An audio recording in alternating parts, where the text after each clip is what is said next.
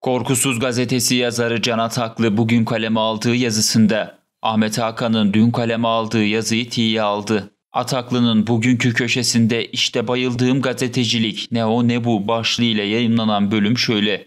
Medyamızın yüce yazarlarından Ahmet Hakan'ın dünkü yazısını yine keyifle okudum. Altın Portakal yarışmasında Tamer Karadağlı ile Nihal Yalçın arasında geçenleri kaleme almış. Her zamanki gibi yüce gazetecilik ustalığını konuşturmuş ve ne o ne bu demiş. Şöyle girmiş yazısına Ahmet Hakan.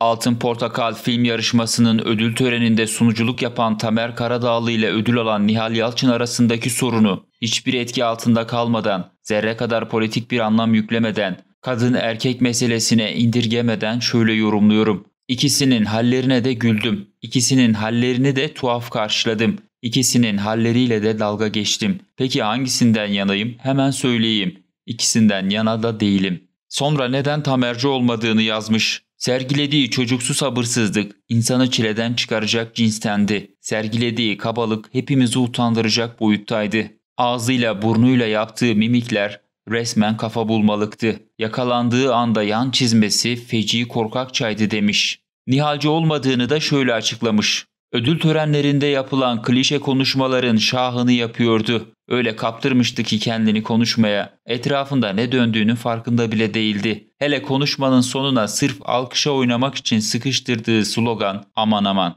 İşte bu tür gazeteci yazarlığa bayılıyorum. Çünkü hiçbir riski yok. Hem ona hem buna deyince bir sürü insan da ha işte bak tarafsızlık budur diyor ahmakça. Yazar da prim yapıyor. Alan veren razı olunca bana ne aslında tabii.